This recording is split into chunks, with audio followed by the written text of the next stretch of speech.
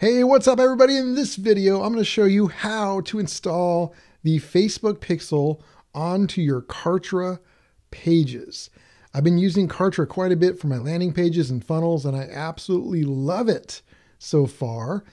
And being a Facebook ad guy, I see questions all the time about, you know, people having issues with where to put the pixel and it's not showing up correctly. And I know how important it is. So I wanted to record a quick video showing you guys exactly how to do that.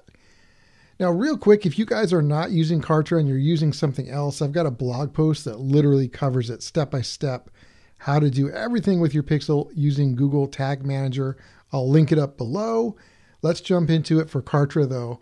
So we are going to install our Facebook Pixel onto our Kartra pages. You will do this on every single page you create in Kartra. I mean, you should. So hopefully you will. So first step is to go over to Facebook. We're going to grab our pixel. You just go into Ads Manager and you choose pixels in the menu and manually install it yourself.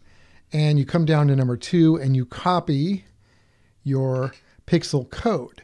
Now, one thing I want to mention is up here, this is what messes a lot of people up. Number one, it says locate the header code and paste your pixel in there. If you paste your pixel in the header of the Kartra page, it won't work.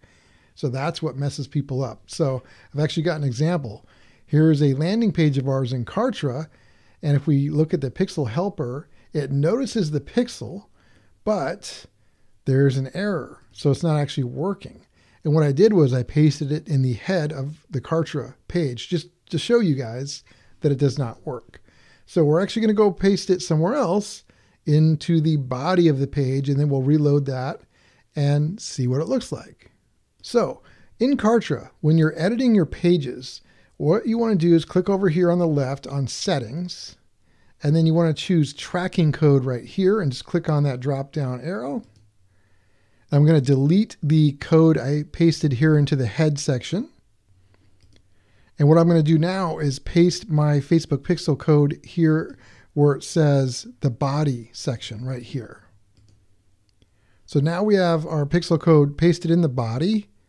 We just need to click apply and then I will republish the page and we'll reload it and take a look.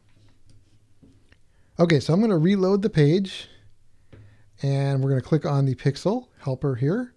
And there we go.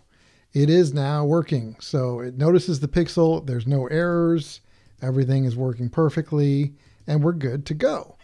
So that's all you need to do. You just need to make sure you paste your pixel code into the body section, not the head of each Kartra page. Make sure you apply it. Make sure you come up here and republish the page and then you'll have your pixel up and running.